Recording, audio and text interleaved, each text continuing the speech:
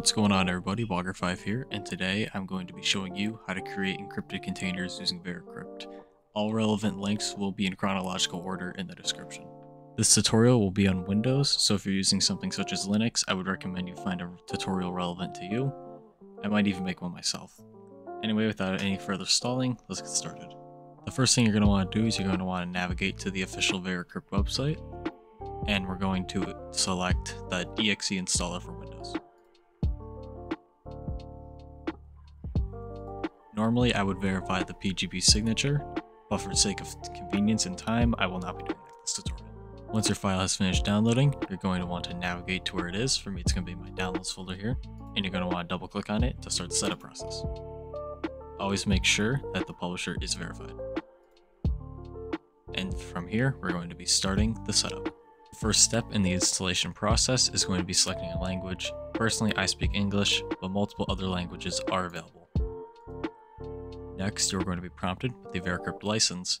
You can accept these terms without reading them, but you can read them if you would like. Next is going to be your method of installation. Installing the program will make a permanent program on your computer, such as your browser. Extracting the program will create a portable version of Veracrypt, as you can see here. Personally, for this tutorial, we're going to be installing the program. You can choose where you would like it installed. You can choose a different hard drive if you would like, different file, whatever you would like. It's also good security practice not to install this for all users. Once all this is complete, click install. You will be prompted, like that, when Veracrypt has successfully installed. This donation screen can be skipped if you would like, but if you would like to support the team, you can donate to them then click Finish. You will then be prompted with a beginner's tutorial for Veracrypt. I will leave this in the description, so I will not be clicking Yes. As you can see on our desktop here, Veracrypt has successfully installed, and we can now begin the process of creating an encrypted container. To begin the process of creating an encrypted container, select Create Volume. The encrypted container will already be pre-selected as an option, and I will not be covering these two options in this tutorial. Select Next. You will then be prompted by volume type. Hidden Veracrypt volumes are meant to be hidden in standard Veracrypt volumes, so we will be selecting standard Veracrypt volume. Volume location refers to where you would like to store your encrypted container. For sake of tutorial, I will be using my desktop. Once you have your file location, you must give your file a name. For me, I will name it volume. Once you have selected a name, click save. You should now see the location in which you saved your file and the file name. Next, you will choose your encryption algorithm. If you drop down this list, you'll be given multiple ways that you can encrypt your container. I highly recommend that you research each of these on your own time. I will leave a link in the description. The hash algorithm specifies the strength of the encryption of the master key. I will leave a much more detailed explanation to what this is in the description. You will then be brought to the volume size selection this will list how much space is on the drive in which you want your encrypted container to be. It can be as low as kilobytes and as high as terabytes. I will be using gigabytes and only 5 of them, given how little space is on my drive.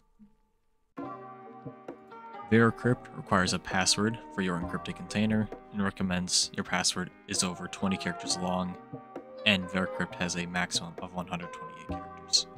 Veracrypt also has an optional feature where you can use a file as a key. Any file type can be used, including this picture of Freddy Fazbear.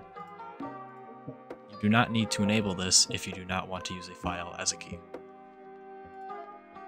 Since my password is not the recommended 20 characters, Veracrypt will give me a warning about it. If you plan on storing files larger than 4 gigabytes on your encrypted container, it would be wise to select large files. You will now be brought to the volume format page.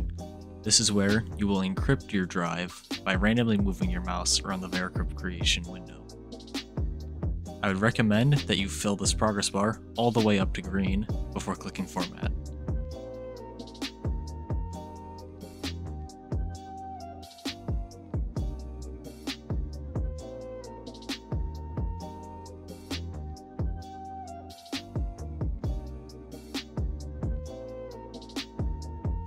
Congratulations, you have now created your encrypted container. click OK. You will be prompted if you would like to create another container. If not, select Exit. In order to open up your encrypted container, you will need to select a drive. Any letter will do. Personally, I prefer L. Once you have selected your drive, you will need to navigate to where your encrypted container is stored. Once you have navigated to your volume location, select your volume and click open. Once you have selected a drive and opened up your volume, select mount. This is where you will enter the password that you selected. If you use a key file, make sure you select use key files and open up the key file that you used. Again, for me, is a picture of Freddy Fazbear. If you have entered all your information correctly, select OK. VeraCrypt will mount your encrypted container as if it were a hard drive. You can now import files into your encrypted container. For me, it will be my highly sensitive Freddy folder. Once you are finished with your encrypted container, you can simply select Dismount. VeraCrypt will automatically dismount your encrypted container. Thank you all so much for watching to the end. If you did find this video helpful, make sure you leave a like. I will be making more of these in the future, although it's a little different from what I normally upload. But I thought as though it'd be nice to make something different for once. So hopefully you enjoyed, and I will see you all next time. Goodbye.